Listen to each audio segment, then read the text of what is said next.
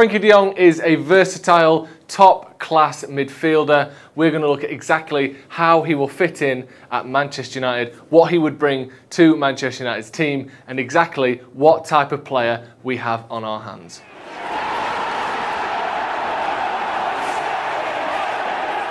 Hello and welcome to Stretford Paddock. My name is Joe. This is Alex Baguley. How are you doing? I'm good, mate. Very You ready good. to analyse Frenkie de Jong? This lad right here. Get stuck right into him. Absolutely. So, what do we know about Frenkie de Jong? First of all, like I said before, he's a versatile, dribbling, passing midfielder, all action. Yeah. Does everything. He's been a six, an eight, a ten, a box-to-box midfielder. He's been a sweeper. He's played centre back. He's done pretty much everything. Yes. We're going to look at a few examples and see exactly what he's done in the past under Ten Hag, what he's done at Barcelona, and what we can expect from him at Manchester United. yeah, he's played a couple of different positions. Obviously, we mentioned Ten Hag. We're going to go into that. Also, what he did when he was under Ronald Koeman at Barcelona, Yeah. and then into how he's played under Xavi as well. So he's done a little bit of everything for all these different managers. Exactly. Right, so the first thing we need to look at is his dribbling. This is Yeah. one of the things that sets him apart from other midfielders in Europe, his ability to carry the ball out. You see here, this is a relatively innocuous situation, receiving the ball in the defensive area there. That's his own 18-yard box, in case you hadn't worked that out. Uh, you see the, the Germany uh, attacker pressing him here. And this is the sort of thing we see at United a lot. It'll be Maguire or Lindelof or sometimes Matic dropping in that role. And you, you're nervous straight away. you're Absolutely, thinking, yeah, this yeah. pass here is cut off. The midfielder's between the two men. What's he going to do? Well, here's what he does. Cut to the next picture. He just goes past him. Like you almost forget that that's a possibility, Yeah. don't you? Yeah, it's that calmness under the ball that he's got there. Now, a lot of players, you see it, you know, Liverpool, you've got Fabinho and, and uh, Rodri that do this a lot, where they pick up the ball from those deep positions, but they're more of a, you know, they'll pass the ball. Whereas someone like Frenkie de Jong has that option, but you can see here, a little bit of confidence to dribble it out. And you mentioned there, Fred and Pogba, we've seen it time and time again at Manchester United, where you're a bit nervous with them coming and picking the ball up. That's where you end up having Maguire taking it out. You had mm. Varane this year, and them kind of getting stuck in it all. Whereas if you've got someone like Frenkie De Jong, someone that's comfortable taking the ball off the goalkeeper, and then can't just find a not just find a pass, but can dribble past the player. That's Yeah. what United need. In 2019, he was like by far the best dribbler in, of, of any midfielder in Europe, pretty much of the top five leagues. That's according to Opta Pro, uh, distances of 10 metres or more, carrying the ball at his feet. Yeah. He was the best in Europe at that. This is the year he made his move to Barcelona. This is something he's genuinely brilliant at. It's not just like, Yeah. oh, we can take the ball out. Like I said before, we've seen it with Fred and, and Pogba especially. When they receive the ball off the midfielder or off the goalkeeper, you're worried where they're going to go with it. He's got so many options in his locker that you know you can have basically Maguire and Varane taking a day off because Yeah. he's going to do that job for him, which is is brilliant. And this is obviously in the much deeper role. So you can see here as well against Wales further up the pitch, you're starting here in the sort of second, third on that left hand side, and he still manages to drive the ball all the way into the opposition's half. Uh, you know, you know, going past two or three men again, like, all the way down. If you cut again further on, all the way right to the edge, basically, of the opposition's 18-yard box, and they eventually score from that. I believe the Netherlands as Yeah. well. He's just someone that can take the ball out in ways that most midfielders can't. Yeah, we're mean, we're gonna look at his passing later on, but that dribbling with the ball, that driving with the ball, that's what kind of sets him apart from the other players and sets him apart. And again, looking at the positions he's going to play, it's mm. going to be important. You know, we're going to look at how Ten Hag's used him in the past, and it's maybe not the traditional number six or number eight. Mm. He needs that passing range, but also this dribbling that he does is a vital asset. Yeah, absolutely. And we talk about him being sort of press resistant, that, Yeah. that term that gets thrown around these days. That's one reason why. Not just can he, you know, pass his way out of trouble.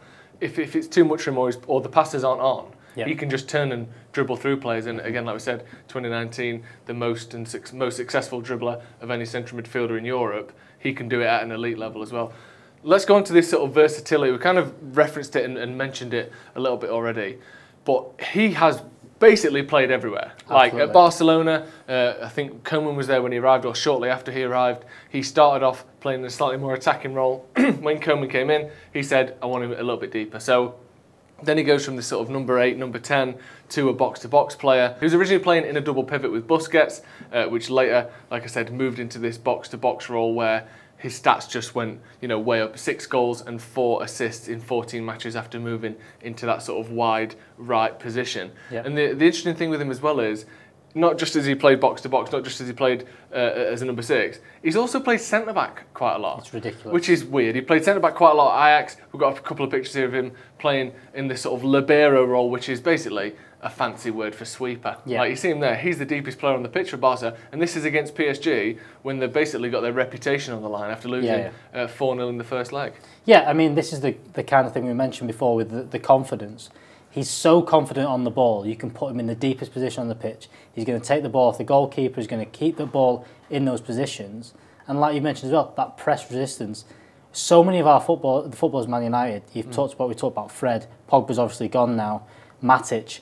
There wasn't this press resistance anymore. No. You, you know, there was either too slow, they weren't good enough on the ball, or just didn't have the technical ability. Someone like Frenkie de Jong can drop in there, do that job, which is a, an amazing position to have. And well, whilst we're going to go on to this in a little bit, he might not be the n- traditional number six, Yeah. but can do a lot of those roles and might fit in with the players we've got at Man United. Yeah, you talk about playing from deep. It doesn't get any deeper than that. We've got another No. picture as well where I believe he's literally the deepest uh, outfield player on the pitch. He made 98 passes in this game. Ridiculous. 98 successful passes, 94% pass accuracy. I think it was 113 touches. This is elite level ball retention, passing, you know, keeping that game moving. That's someone, something we don't have. We don't have anyone that can drop deep into midfield or even into the defences we're seeing there. You talk about a number six. What's that? What Yeah, number's that? what number three. like we, we hear about all this. Can he play as a six? Can he play as an eight? He can play pretty much anywhere between the edge of your 18 yard box and the edge of theirs, and he can do it brilliantly. Like I said, away in Paris, Yeah. 98 passes. That's the sort of thing United need. Someone who can control a game from anywhere on the pitch. Absolutely, yeah. Now, obviously, we aren't buying him to play as a centre back, and I almost No. wanted to use that as an example to show you don't have to be a number six to be able to play from deep, to control a game from deep. This was his heat map as a number six uh, for Barcelona, where basically, yes, he's a number six, but he's still covering pretty much every blade of grass there, Absolutely, isn't he? you can see he's absolutely everywhere in that in, in that in that heat map there, and, and that's what what you need. Again, there's this this thing we're going to go on to how Ten Hag's going to kind of settle with Mm. him. It isn't this traditional. He's going to hold. There's going to be players ahead of him. He does a little bit of everything. He is that box to box player. He does like to do what a traditional number six does of picking up the ball, but he also likes to get involved further up the pitch. Yeah. Get involved, link up attack. We saw in those other images of him, you know, setting up that setting up that cross for Holland the other day, where they scored that winning goal. Yeah. That's what you're going to get from Frenkie De Jong. Yeah, exactly. And this is his heat map from last season. We've got a couple of quotes from Ten Hag talking about why he's such a good player. He said he's a wanderer, he's an adventurer, he's always on the move like a shark. a I like, shark. I like a shark. Don't know what kind of shark. Hopefully, like a bull shark, not a basking shark, just one of the slow Okay, ones that yeah, eats yeah. plankton.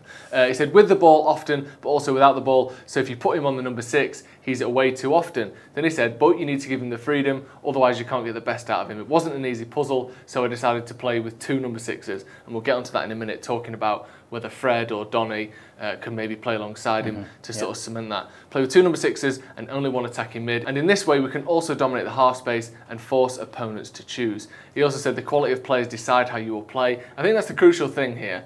It's Ten Hag is a man who's got very strong structures and he's, he's very sort of clear in his philosophy. Yeah. But he's willing to change things within that, whether Yeah. that's on the pitch or off it. He's willing to play players in the position they're best at without having to, you know, force people into problems that you know he doesn't No. know how to fix. No, it's, it's finding them their best position. He's Yeah. mentioned that all, all the way through. He is someone that likes to drop in the ball. So if you play him as, you know, how we've played players as an eight before, with a bit further forward, you know, you look at City, how high up their midfielders are, De Bruyne Yeah. and Bernardo Silva. There's, you're almost wasting him. You want him to be able to drop deep and pick up the ball, defence, and dictate play. But you don't want him to be restricted to there because you want him in the final third and creating those. You need him in those positions. I think he's a, he's a great example actually of almost like a forgotten style of player. Like people, especially on social media, I think are so keen for a number six to be someone that's tackling all the time, Yeah. smashing into people, raring around, racing at people. Mm-hmm. When actually, Michael Carrick was a number six, Yeah. and he didn't have you know maybe the dribbling sort of prowess of Frenkie De Jong, but his positioning and his ability to play the ball and control games from deep made him a brilliant cover for the defence because the opposition just didn't get the ball. Yeah. I think that's what Frenkie De Jong does so well. Yes, he's got more of an attacking style to him, as we can see. He likes to cover everywhere.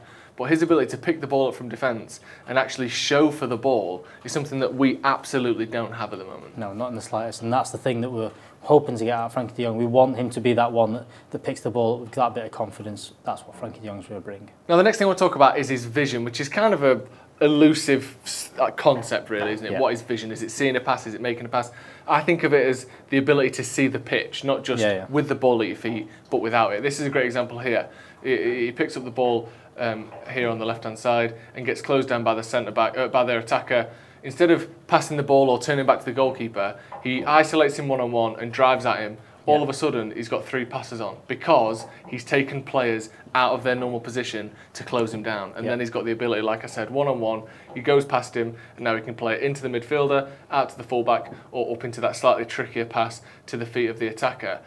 These are the fine margins where if he didn't have a dribble in him, Yep. All of a sudden this midfielder drops off. That's one lane covered. He can go to his man, and you've got no passes on. It's, Yeah. it's about those tiny bits of technical excellence that mean now instead of having nothing on, he's got three options on. It's just such a difference, isn't it? It is such a difference, and you've looked at you know, there's players like this in the Premier League who it kind of maybe compares to. You look at Thiago, what he can do, just dropping Yeah. a shoulder, and it means that you don't have to play the simple pass. You know that's what he's very very good at. But dropping that shoulder means that he's got an easier pass, but can progress the ball, and it isn't just passing it sideways. And that's the difference between someone that's good at that position where you can take it a little bit deeper, Yeah. and someone that's very good in Frenkie Yeah, Jong. exactly. And this creates overloads in different positions where, like I said, you can, you know, sit with the man in front of you. I'm on the ball. I play a pass. That's one completed pass. Mm-hmm. But what it didn't do is progress the game. It didn't create any danger. It didn't cause any overloads or any, you know, problems for the defensive team. This sort of thing here, just squaring at your man, going past him. Now you've got three passes on.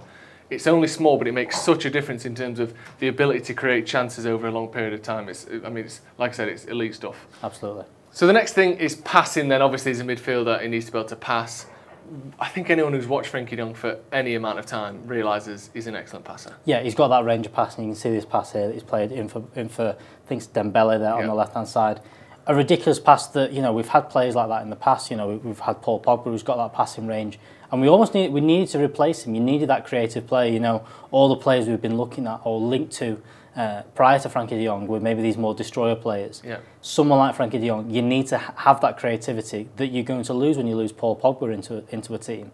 And when we're playing well, you need someone like Frenkie de Jong who can create from a little bit deeper. Yeah. Whilst your other creative players, you know, your Donny van der Beeks, your, your Bruno Fernandes, and your, your wide players in Sancho and Rashford, Mm-hmm. They create further up the pitch. You need someone like Frenkie de Jong who can play that pass. Yeah, you talk about his dribbling, but you pair that with his passing. He's in the top 17% uh, for passes attempted, the top 8%, 8% for passes completed, the top 19% for progressive passes, as in he plays the ball forward more than 81% of midfielders, and he's also in the top 5% for progressive passes received. And that's crucial as well. We've got a couple more pictures if you want to just go through those of him playing balls in behind, you know, these sorts of passes out here Yeah. into this space. He sees the space very well. This is back when he was at Ajax. Yeah. But that uh, progressive passes received is a big stat for me because that means he's in those little pockets, letting the midfielders, letting the defenders, letting the goalkeeper pass Yep. to him. I think one thing that we like with Fred and McTominay especially is they're not great on the ball, we know that, but their willingness and ability to get on the ball in the first place, I think is, is, is probably substandard. You look at someone like Paul Scholes or Michael Carrick, they were always free. Mm-hmm. Every time you looked up, you go, right, I know he's there, I can pass it to Scholes if I need to, I can pass it to Carrick if I need to, or I can take the risk, I'll just pass it to Scholes. Yeah. That's what he's so good at. Yeah. He's always available. You pass it one way, go around the other side of the defender, receive it again.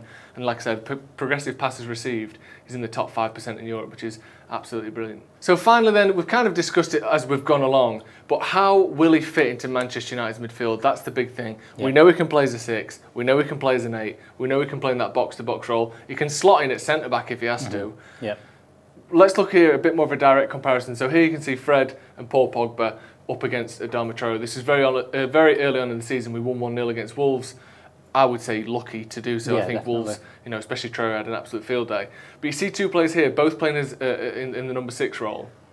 Neither of them particularly adept at doing so. No. Uh, and you see here, Pogba and Fred both got their eyes on the ball, both get drawn in. Neither of them have the positioning or the awareness to drop off, cause a second sort of layer of defence. If we just skip forward, a second later, he's passed them both and Yeah, running into absolutely. absolutely open space. Like Yeah. Frenkie De Jong's positioning and awareness is crucial to sort of stop these things happening, isn't it? Absolutely, and, and someone that's more natural in that position Yeah. and, can control that. Now, hopefully, Ten Hag's going to get this, and it's going to be a little bit, bit of a tactical switch where he can kind of make sure that players like Fred and McTominay are Yeah. better at doing that and recognising that danger. But someone like Frenkie De Jong, who's used to playing in that position, used to being alongside someone, can kind of spot that. Also, the start of this was that was all from Fred giving the ball away. That's true. You need someone with that bit, bit more quality in there that can do that. And then if not, you've got someone like Paul, you know Paul Pogba isn't the most naturally defensively. No. You can see here he's been skipped past. That's where the problems lie. You need someone like Frenkie de Jong who'll keep the ball, but also has the nous enough to drop back in, do that, and that's Yeah. hopefully what you're going to bring in to see. Definitely. Um, and I think him next to Fred, I mean, the question, I'll get onto it uh, about whether we need another number six alongside him. Is he more of a replacement for Pogba? I think him and Fred could be somewhat of a competent partnership because you've got Fred who's sort of doing the legwork, who's does more tackling, who does more off the ball work. Frenkie de Jong's decent at that, but his numbers aren't sort of sky high in terms No. of tackling. Positionally is excellent. But I think if you had those two in there, like you said, you could have the passing, the ability to pick the ball up from the defence that uh, De Jong has. Fred can push forward a little bit more in those instances. And then when De Jong's on the ball dribbling forward, Fred drops in deep and covers those positions there. I think Yeah. that could be a decent partnership. Are, are you a fan of that, or do you think we need someone else?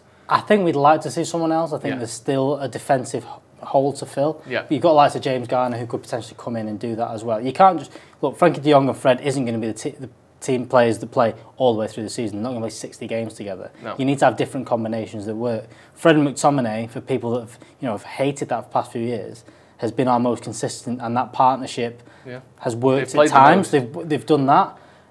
People wanted more creativity, and that was always the, the criticism. And defensively, there was also questions. When we tried this, you know, Fred and Pogba against Wolves, that was what people were going. We needed this. This is what we wanted. Yeah. Pogba just didn't quite have it to play that role.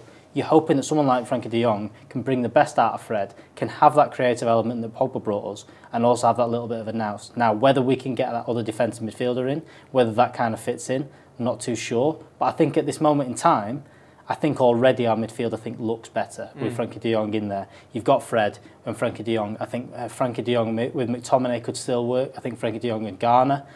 And then we've got back to Ajax. You know, Frenkie De Jong and Donny van der Beek played in those two sixes in certain games. Now it's not going to be away at Manchester City where you're going to see Frenkie De Jong Yeah. and and, I think you might still Donny see van der Beek. Fred and McTominay coming in for quite a lot of games that season. could be that. But Yeah. you've also got can Frenkie De Jong fit in there, and that's a narrow three with Bruno maybe maybe further forward. Yeah. They're the things we've got. You've got someone that can control the ball. You've got someone that can control the game, and hopefully that's a good partnership to kick off the Hopefully it season. is. Yeah, very exciting stuff. Let us know your thoughts in the comments below. Can Frenkie de Jong and Fred work as a number six if this deal were to happen? Let us know again your thoughts in the comments below. Thank you, Alex, for joining us. Let us know if there's anything we've missed. Frenkie de Jong is a great dribbler. He's versatile. He can play in pretty much any position. He's a great passer. He receives the ball out the pitch. He receives the ball off the defence.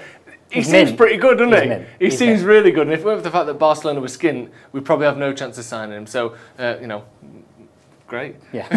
Thank you very much for joining us, and we'll see you in a bit.